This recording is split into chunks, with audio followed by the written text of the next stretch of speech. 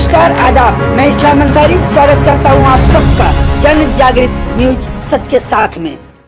माडा के भारतगंज मुख्य बाज़ार में पुलिस रूट मार्च करने पहुँची तो दुकानदारों ने आयकर विभाग की छापेमारी समझकर चंद पलों में दुकानों के शटर बंद कर भाग खड़े हुए। दुकानदारों के कारनामे देख पुलिस की चुकन नहीं रह गई। इस दौरान सीओ मेजर सहीराम आर्य ने दुकानदारों को बुलाकर समझाया कि आयकर विभाग की छापेमारी नहीं है। उक्त सीओ ने स्थानीय दुकानदारों से वार्ता कर क्षेत्र में शांति व्यवस्था बनाए रखने की अपील की। बता दें कि पुलिस के रूट मार्च को आयकर विभाग की छापेमारी समझ दुकानदारों में अफरा तफरी मच गई। उक्त सीओ के वार्ता के बाद दुकानदारों ने राहत की सांस ली। स्थानीय दुकानदार मिथिलेश रमेश सर्राफ अनुज कुमार दिलीप रितेश मयंक सहित आदि तमाम लोगों ने बताया कि बीते दिनों भारतगंज बाज़ार में अचानक आयकर विभाग ने छापेमारी की थी जिसका भय उक्त बाज़ार के दुकानदारों में आज भी बना हुआ है। हम आपसे जानना चाहेंगे पर दुकानें बंद क्यों हैं? अब वही जो लाल लश्कर के साथ आए थे यहाँ इनकम टैक्स वाले। हाँ। आयकर विभाग इसी डर के मारा ये तो बहुत पहले की बात है। हाँ तो पहले वाले लेकिन डर तो समाया हुआ है ना। तो इस वजह से जो आपने देखा पुलिस वालों को तो सब लोगों ने दुकान बंद कर रखे हैं। पहली बार भी लोग लाल लश्कर आए थे इसीलिए तो बंद कर दिया।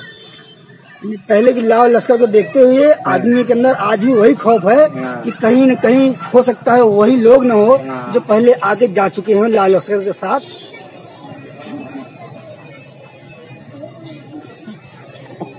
आपने अपना भी दुकान बंद कर रखा है?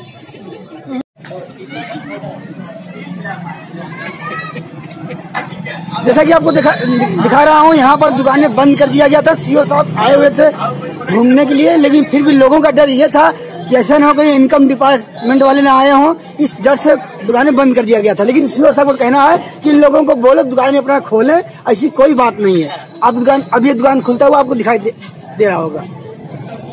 देखिए चौतरफा एक डर एक डर समाया हुआ है लोगों के अंदर।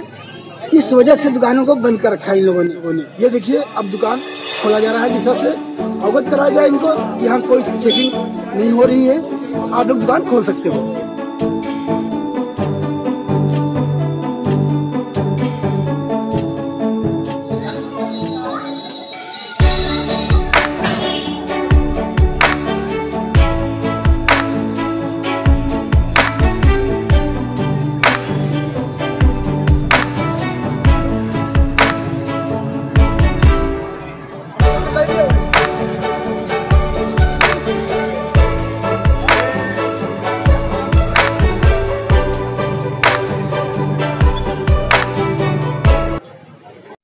इस चैनल पर दिखाए जाने वाले सभी न्यूज़ से अपडेट रहने के लिए सब्सक्राइब करें। जन